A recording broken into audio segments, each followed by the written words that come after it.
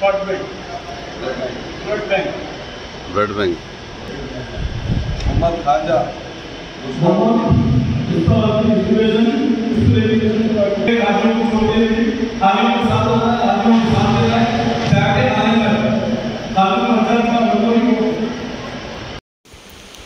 Khadimul Hujjaj की खुरानदाजी आज हज हाउस में हुई। Chairman Haj committee Mohammed Saleem, Waqf board के चेयरमैन मोहम्मद मसूल्ला खान, कमिश्नर अखिलती बहबूद I F S Mohammed Shafiullah Haj committee के अरकान और अमला इस मौके पर मौजूद था। दरख्वास्त बरए खादिमुल हुज्जाज, कुल एक सौ पैंसठ जमा हुए। अहल उम्मीदवार सिर्फ़ सरकारी मुलाजमीन मंतखब हुए। एक सौ ग्यारह आज एक सौ ग्यारह में से सिर्फ़ पंद्रह खादिमुल हुज्जाज के लिए खुरानंदाजी हुई, जिसमें रियासत तेलंगाना के मुख्तलिफ़ सरकारी महकमों से इंतखब किया गया है। पाँच अफराद को इंतज़ार की फहरिस्त के लिए मंतखब किया गया है। इस साल रियासत तेलंगाना में दो हज़ार तेईस के लिए पाँच हज़ार दो सौ अठहत्तर हाजियों का कोटा होगा। आइए देखते हैं इसकी मज़ीद तफसीत आज खादिल हजाज का ड्रा था, जिसमें 18 नाम उठे। जो भी नाम है वो लिस्ट पे रहेगा।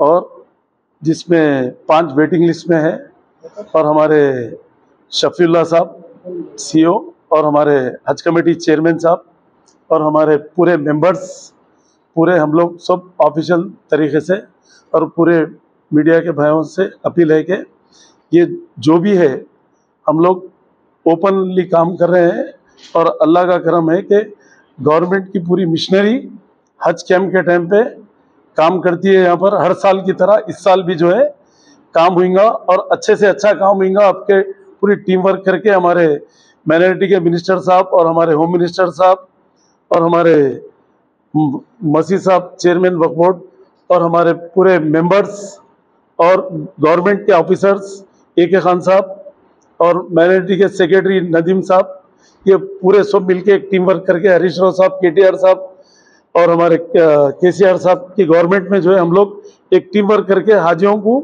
एक एक अच्छे तरीके से हम लोग जो है उनको कोई प्रॉब्लम नहीं होना बोल के हम लोग यहाँ से रवाना करेंगे और आने तक भी जो है हम लोग मॉनिटर करेंगे।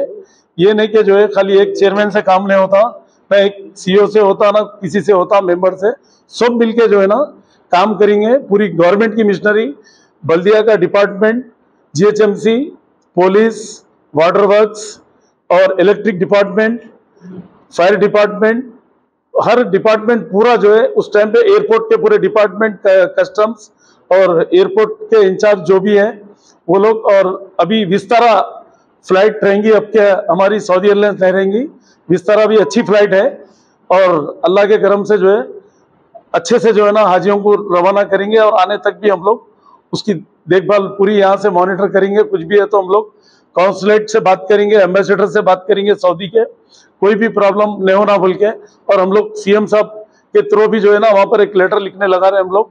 इनशाला ताला वो भी जो है, वहाँ पर रुबात का प्रॉब्लम चल रहा। रुबात के लिए जो है एक मीटिंग भी रखे हम, निज़ाम के सेक्रेटरी वगैरह को बुला के। ईद के बाद हम, हमारे वक्फ बोर्ड के चेयरमैन हम लोग सब मिलके जो है, एक मीटिंग करके जो है, रुबात का क्या प्रॉब्लम है, उसमें जो रुबात के सेक्रेटरी वगैरह है हमारे गए साल भी जो है बिल्डिंग आप टूट गए बोले, मगर वो बिल्डिंग किराए पे दे चुकी है, वहाँ पर टूटी नहीं, यहाँ पर धोखा दे रहे हो लोग। हम उसके लिए जो है ना, हम खामोश नहीं बैठेंगे, हम सीएम साहब को भी ऑलरेडी लेटर चलेगा हमारा। गवर्नमेंट के थ्रू एम्बेसी को ये करेंगे हम लोग। एम्बेसी से वहाँ पर मॉनिटर करके जो है ना, क्यों प्रॉब्लम हो रहा है? क्योंकि जो निज़ाम रुबात है, वो खिदमत के लिए जो है ना, निज़ाम रख गए सो उसको जो है ना ये लोग पैसा उसका किराए पे देके उसका पैसा यूज़ कर रहे हैं। हम इसको नहीं छोड़ेंगे हम इसको, क्योंकि निज़ाम रुबात जो है, वफ करे भी है ये। ये जो है ना, कौम की खिदमत के लिए उन्होंने करके गए। तो बीच वाले जो गेम खेल रहे हैं, हम हसन शरीफ को इनको जो है ना, हम बिल्कुल यहाँ भी पुलिस में भी बोले तो कंप्लेंट करेंगे। वहाँ पर भी कंप्लेंट करेंगे, वहाँ की गवर्नमेंट में। क्योंकि ये जो हरकत हुई है, अच्छी हरकत नहीं है। गए साल हमको बोले कि बिल्डिंगा टूट गए। मगर मेरे पास उसके क्लिप भी है यहाँ पर। कि बिल्डिंग जो है ना किराए पे दी हुई है वहाँ पर। तो इसको हम खामोश नहीं बैठेंगे हम।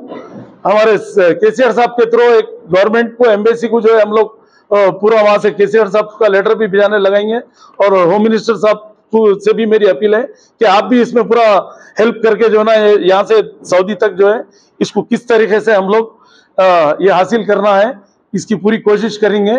क्योंकि अभी भी हम बात कर रहे थे उन्होंने फ़ोन लिफ्ट करने तैयार नहीं है।